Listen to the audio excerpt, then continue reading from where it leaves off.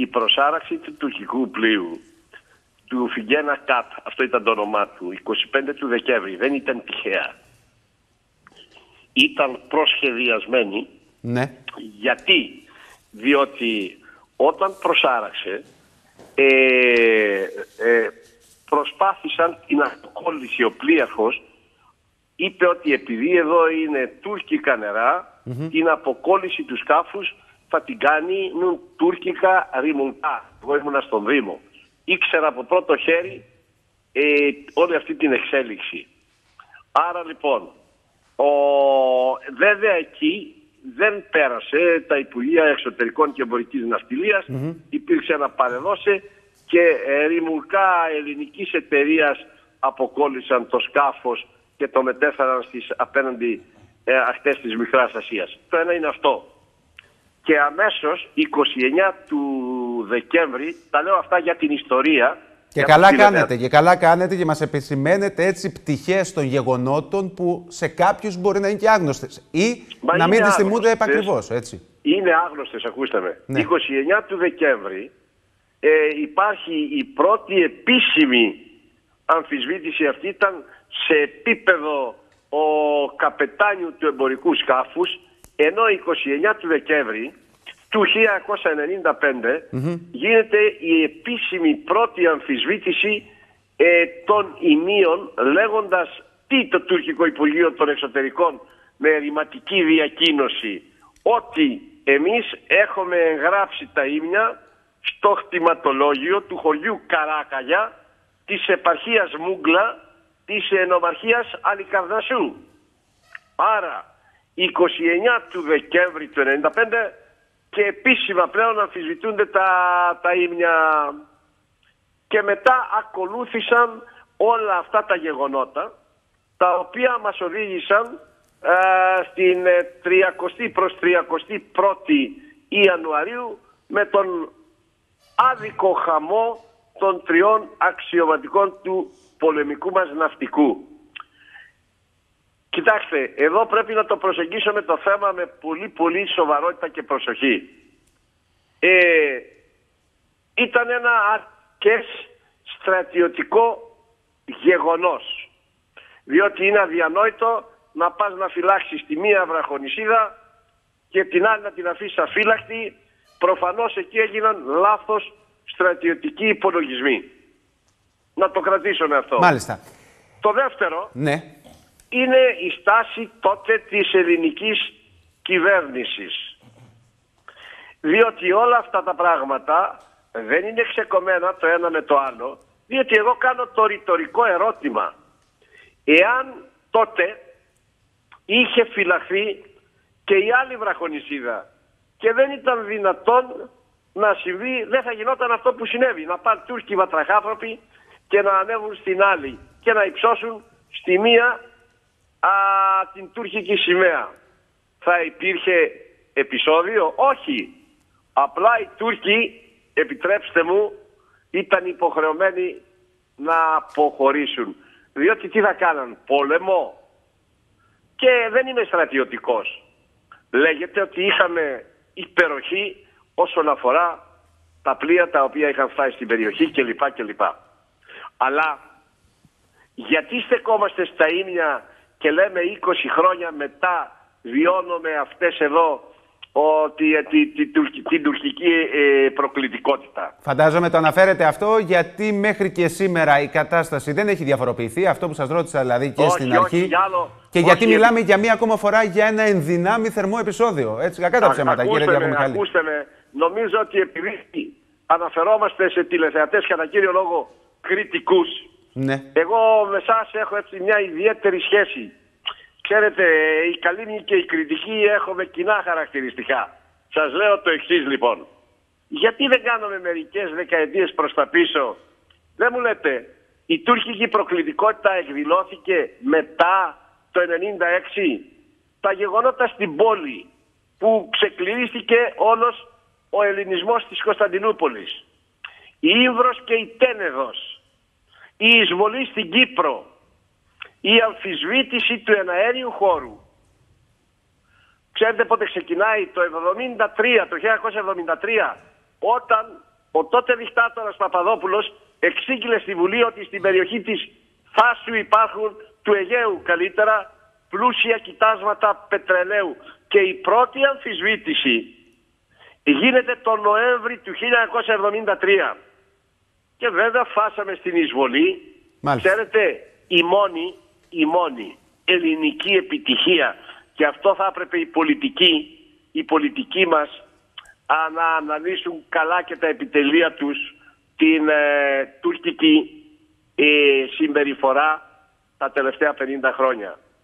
Η μόνη ελληνική επιτυχία ήταν η ένταξη της Κύπρου στην Ευρωπαϊκή Ένωση χωρίς να λυθεί το Κυπριακό. Και λέω εγώ, ο, ο, ο απλός πολίτης, ένας δήμαρχος, ταπεινός, σεμνός, κράτησα τον Βοσκό στα ίμια μετά τα γεγονότα Κίνα για 7 ολόκληρα χρόνια. Τότε δεν είχαν γκριζαριστεί τα ίμια. Υπήρξε ένα ατυχές στρατιωτικό γεγονός. Ο Βοσκός όμως μετά το 96, όπως πήγαινε πριν το 96... Πήγαινε και μετά. Είναι η γνωστή ιστορία του Βοσκού που πριν τα, πριν τα ίμια με την παρουσία του υποδήλωνε την ε, ελληνικότητα των ημείων, έτσι. Άρα γιατί μας ξαφλιάζει και γιατί μας ξενίζει η συμπεριφορά των Τούρκων; Οφείλουμε ως ελληνισμός ναι. να συνειδητοποιήσουμε κάποια κομβικά σημεία. Ότι ο ελληνισμός πρέπει να βρει το κουράγιο δια των πολιτικών του να αντιδράσεις στεναρά στην τουρκική προκλητικότητα. Ξέρετε, ο εθνικός όρκος των Τούρκων που έγινε το 1920 μετά τους, από τους εθνικιστές στο Ερζερούν και στην Σεβάστια έχει έξι σημεία. Ήταν παραμονές που, της κατάρρευσης Οθωμανικής Αυτοκρατορίας. Αυτή δεν είναι ιστορία. Είναι η πραγματικότητα ζώσα, η πραγματική ζώσα κατάσταση που την βρίσκουμε κάθε μέρα μπροστά μας. Και αν δεν την δούμε σωστά, δεν ξέρω ποια θα είναι η προοπτική για τα εθνικά συμφέροντα της Ελλάδας. Σήμερα ξέρετε που είναι το Ουρουκρέης. Αυτό λέγαμε μετά... προηγουμένως και εκεί θα ήθελα να μετατοπίσουμε λίγο τη συζήτησή μας, κύριε Δήμαρχε. Υπάρχει μια αλληλουχία. Ναι. Υπάρχει μια αλληλουχία. μάλλον μια διαδοχή γεγονότων που εμείς στην λογική του κατευνασμού έχουμε δώσει την δυνατότητα στην Τουρκία να κάνει ό,τι κάνει.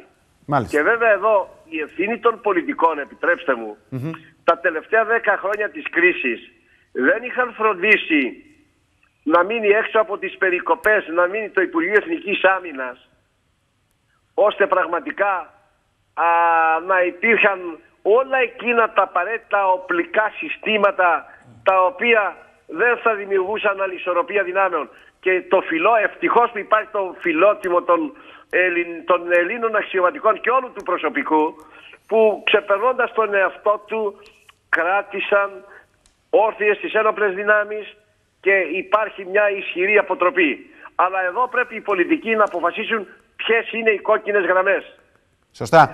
γιατί γιατί το θέμα είναι τι γίνεται και νομίζω θα συμφωνήσετε και εσείς, κύριε Διακομιχάλη. Το θέμα είναι τι γίνεται από τώρα, από τώρα και στο εξής, από τη στιγμή που έχουμε φτάσει σημείο να αμφισβητούνται ας πούμε, τα ίμια, να βλέπουμε μέχρι και η Κρήτη να βρίσκεται στο στόχαστρο και σε περίεργους ε, χάρτες. Ε, και το θέμα είναι πραγματικά τι γίνεται από εδώ και πέρα και σωστά Ακούστε. κάνετε και το επισημαίνετε.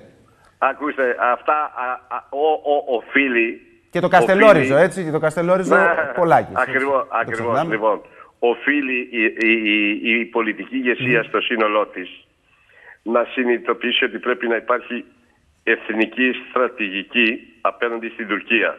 Και εδώ χρειάζονται συγκεκριμένα βήματα. Δεν θα ήθελα σήμερα, μιλούμε ε, τηλεφωνικά να πούμε παραπάνω πράγματα. Δεν θέλουμε να πούμε περισσότερα. Θέλω λίγο πριν κλείσουμε και συγγνώμη που σας ε, διακόπτω, γιατί όση ώρα εμείς μιλάμε, βέβαια δεν έχετε τη δυνατότητα, κύριε Διακομιχάλη, κύριε Δήμαρχε της Καλύμνου, να δείτε τα πλάνα τα οποία δείχνουμε και εμείς εδώ στην κριτική τηλεόραση, στην Κρήτη TV. Δείχνουμε φωτογραφίες από εσάς όταν ε, αποτελέσατε έναν από τους πρωταγωνιστές εκείνων των ημερών, λίγο πριν γίνει η συγκεκριμένη ενδυνάμει σύραξη. Ε, Ξέρετε, δεν είμαι εγώ, δεν υπήρξα ενδυνάμει πρωταγωνιστής.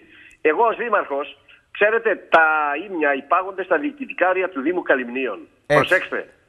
Όταν αμφισβητείτε το, το σπίτι σου το δικό σου σπίτι, ναι. εσύ οφείλεις να το διαφυλάξει. Να το προστατέψεις, έτσι, να το διαφυλάξεις. Αυτό έκανα κι εγώ. Και βέβαια τότε οι, πολιτι... οι κρατούντες πολιτικά εννοώ, ο, με δημοσιογραφικά συμφέροντα, με επιχειρηματικά, έψαξαν να βρουν κάποιον από διοπομπαίο τράγο. Εντάξει, δεν ήμουν εγώ το πλέον κατάλληλο πρόσωπο. Δεν το κατάφεραν.